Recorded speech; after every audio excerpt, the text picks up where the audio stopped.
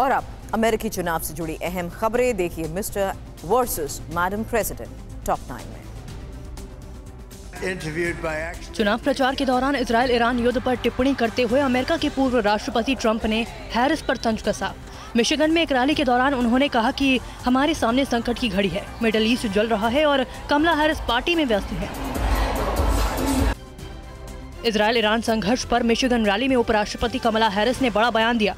उन्होंने बहुत मजबूती से ईरान को रोकने की वकालत की और कहा कि अमेरिका हर हाल में ईरान के किसी भी हमले के खिलाफ इसराइल की रक्षा करेगा। अमेरिका में राष्ट्रपति चुनाव 5 नवंबर को है, लेकिन उससे पहले ही 36 राज्यों के करीब 30 मिलियन लोग मेल इन वोटिंग से अपना मतदान डाल चुके हैं। अमेरिका में ये परंपरा कोरोना काल से शुरू हुआ था। सूत्रों के मुताबिक ट्रंप और कमला हैरिस के बीच करीबी मुकाबला है। वर्जीनिया के फेयरफैक्स काउंटी में शुरुआती मतदान केंद्रों पर बड़ी संख्या में लोग मतदान कर रहे हैं। ये परंपरागत रूप से डेमोक्रेटिक क्षेत्र है। इस दौरान डेमोक्रेट और रिपब्लिकन दोनों पार्टियों के समर्थकों ने केंद्रों के बाहर बूथ स्थापित किए, जहाँ वे मतदाताओं को वोटिंग ऐसी जुड़ी जानकारी देते दिखे।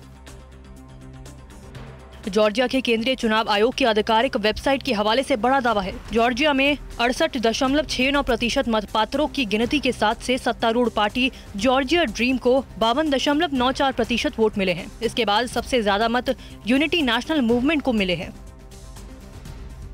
जॉर्जिया की सत्तारूढ़ पार्टी जॉर्जिया ड्रीम ने जीत का जश्न मनाते हुए कहा कि वो संसदीय चुनाव के आधिकारिक नतीजों में आगे चल रही है। देर रात तिबलिसी में पार्टी लीडर्स ने अपने समर्थकों को संबोधित करते हुए कहा कि ये चुनाव यूरोप का भविष्य तय करेगा। जॉर्जिया में तमाम विपक्षी पार्टियों ने कई मतदान केंद्रों पर धांधली के आरोप लगाए हैं। सोशल मीडिया पर एक वीडियो शेयर कर ये दावा किया गया कि पर्यवेक्षकों की लापरवाही के कारण हज़ारों वोट फर्जी पड़े। मार्नेोली में एक युवक कई मतपात्रों को एक बक्से में भरता हुआ दिखा।